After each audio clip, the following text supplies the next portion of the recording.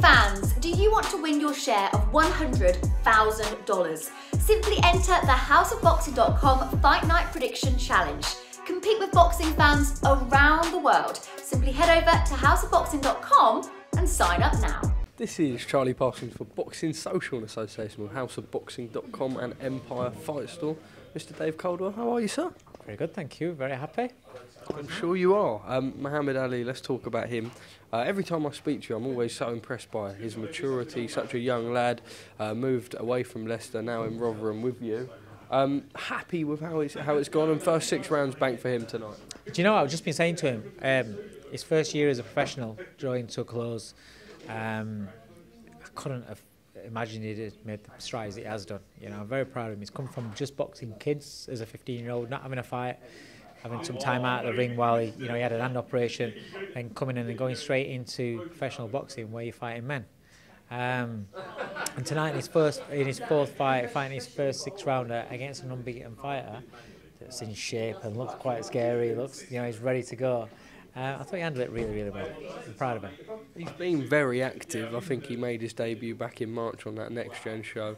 Um, I think that was his fourth bout tonight. But I suppose that's what you need when you're that age, right? And just progression and, and sort of also the nurturing with yourself and Sam as well. And um, he's a man who sells a lot of tickets as well. Yeah, he's got a great fan base. Great, but that that stems from him and his, his family. They're nice people. So you know they're, they're very popular down in Leicester. Um, it's great to work with, and, and you know his fans, his friends, his family. Um, they all come together and, and show the support, and they travel. That's the big thing is that they travel in numbers, um, which you know in this day and age there's there's a lot of money, but they keep keep turning up. Um, he'll have a little rest now.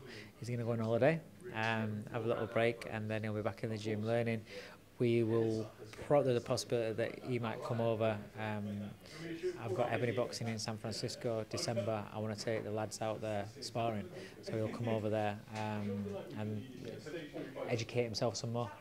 Well, Dave, that was my next question. You mentioned it, uh, a trip to the States. He's somewhat imminent, December. Um, Avril Mathie is the opponent for Ebanie Bridges. He's had a little bit of criticism online. Obviously, she is coming off the back of a defeat. We know that Ebanie was going to have a, a voluntary and then maybe look at unification. I suppose away from that, massive experience, a massive profile, and a huge card. Yeah, um, listen, I don't manage Ebanie, I train her. Um, I get what people are saying. I can't, I can't deny it. Um, but it happens in, it happens a lot. come on, it happens a lot. Um, and so it's not just this. I think obviously it's made a bigger deal because it's Ebanie, because she divides opinion. Um, you know, people are either big fans of her or can't stand her. Um, this is it's a character in boxing. It's you get that a lot with a lot of people, um, and you know because it's her, then the ones that aren't fans of her are making louder noises about this, which, like I said, it happens quite regularly. I mean, you look at a lot of a lot of um, in the women's game, you look at a lot of uh, the girls that get a world title opportunities. You, you, know, sometimes profile, sometimes that's just how it is, and it's not. You know, I'm not saying it's fair, but it happens in the men's game as well. You can have guys that are that, you know, very very good fighters, but they don't sell a ticket, and so they don't really get pushed the same as the fighters that aren't as good but sell a lot of tickets. It's promoters see it as a business, um, and you know, Ebanie, she's you know she's got an opportunity to box on on the Haney Prograis undercard. That's massive. That, that is massive. And when you think, I think she's only been boxing something like six years, seven years. Um, she's made big strides in her career to be where she's at, um, and to have an opportunity like that for somebody like that that's come from nothing really. She's not going to turn it down, is she? And if it's, you know, if it's a, an opponent that's that on paper, you would say, oh well, because there's there's tougher opponents out there it's not really a, a thing. She's coming off, to be fair, she's coming off an injury. You know, she's had a really bad hand, hand uh, a really big hand operation for a major injury to her hand. Um, and she's with a new coach, uprooted her life and everything. She's not going to come back after having a year out in a life and death against a, a top, top fighter. Because most fighters don't. Let me put your brains on the world of boxing as a whole. Next week there is a spectacle that's on, and it's not for everyone. Tyson Fury versus Francis Ngannou.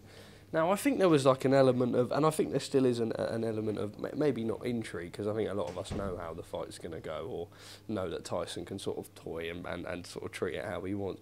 But first time we'll ever see the UFC heavyweight champion against the world heavyweight champion in boxing. Will you be tuning in? I'll be honest with you. Um, I was in. I'm not intrigued in the. I wasn't intrigued in the fact that oh I think Ngannou was going to win. Never Yeah. thought Ngannou was going to win, um, but because it's an event, I was like mm, maybe. But then, for me, to promote the event, I'll tell you what did I, I, the the the actual video, the promo video is amazing. It's one of the best things I've seen. Right, that is if anything's going to sell it, it's that. But the problem is, they put out clips of Ngannou on pads. Mate, that's dog shit. I can't I can't look at that and think he's got any chance at all of winning that fight. And when I saw that, I was like, I ain't paying for that because it's all about what Fury wants to do. And it's like I might be, it might be harsh, but it's true. Fury's been in with, with far better fighters that are boxers, throwing faster hands, and he's been able to cope with that. Mate, unless that was a unless that was done purposely to make him look poor, there's absolutely no chance whatsoever he lands on him. It- like literally, Fury will be able to stand on the ropes, just watch him, watch the shots going. It'll be like Matrix. He'll be doing the old Keanu Reeves job, and he'll just watch the shit going past him and just count whatever he wants to do, because he's slow. He might be a big lump, but he's. he- you know what it reminded me of? You know, you know, you see these big bodybuilders, and then you see him on, on the pads, and then you see him going. You know, they've got all that size about them. These punches look heavy. Yes, they're heavy to connect, but if, to get from A to B, it needs to be a little bit quicker than that to get on, on Fury. So it's the clips where I was kind of like the the intrigue and the whatever I might have been interested in, where it's made me think I, I can't not even bother. Do you know? I'll, I'll be honest. Actually, now I'm thinking about it. The one saving thing is what they might get me money for is Wardley against Adeleye. I think I'll, I'll, I'll pay for that to be honest, because that is a fight that I actually I, I'm looking forward to seeing.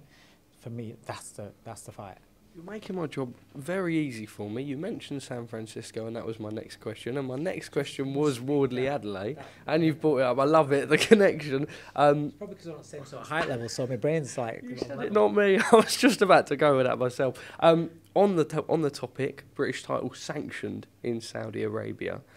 Um, I think it's the first time we've seen that. Your thoughts? Didn't they say at first that they weren't going to sanction? it? Yes. Right. Okay. I don't know. I, listen, I think it makes sense for it to be because it's two British fighters. Um, but yeah, um, I don't know. I don't. Does it make any difference? Does it make any difference at all? At least the British title's being kept active and it's moving. Do you know what I mean? So I ain't got a problem with it. I'm not going to say, oh, why are they doing that? It is what it is. Lastly, from me, Anthony Joshua. Um, I don't know if you've seen, but he's he's doing this thing where he's locking himself in a dark room for four days. What do you make of it? So, first you got to think, okay, well, it's a bit strange. Um, but actually, if he pulls that off four days, locks in himself in a room and he's blindfolded, pitch black, no noise, nothing, alone with his thoughts for four days, mate, if that doesn't send him fucking conkers, then he's done really well because I couldn't do that. So, do you not think you come off a bit worse off the Yeah, back? hundred percent. I would go nuts Yeah. because you there's that you know obviously there's that bit where you you're a bit bored. When you're bored, what what goes past that way if you don't solve that boredom to be able to control your mind like that and then you're alone with your demons and things like that and you have to sort your head out. I understand all that. I think it's really good because if he can do that, then then mentally it's actually a real um, it's a real uh, achievement mentally, and it'll develop his mind unreal. But I think it'll fuck him up. if he does it, I can't, listen. And if he does it, I'd love to sit down and have a chat with him and say, "How did you do that?" Because that takes some serious mental capacity. Um, will it? Um, will it improve him for his boxing? I don't know. I don't know. But whatever makes you feel more confident in yourself, then you do. And so I get it. I, I get why he's doing it. I think it's it's unreal. It's an unreal challenge. Mahmoud Charr is the name that he's been linked to fighting next. What would you make of that?